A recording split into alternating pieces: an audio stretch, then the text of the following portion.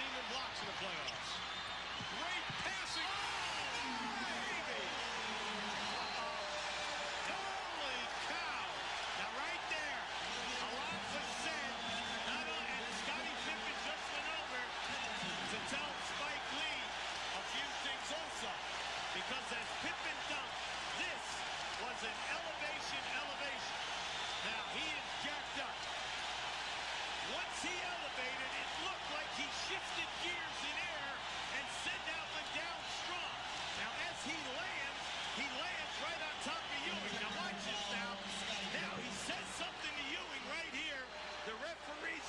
calling a technical foul. They huddled together before they made this call.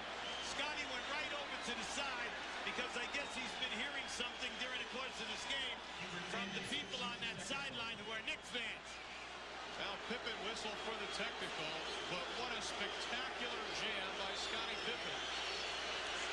Davis shoots the tee and connects. See, I, I like I like the fact that they call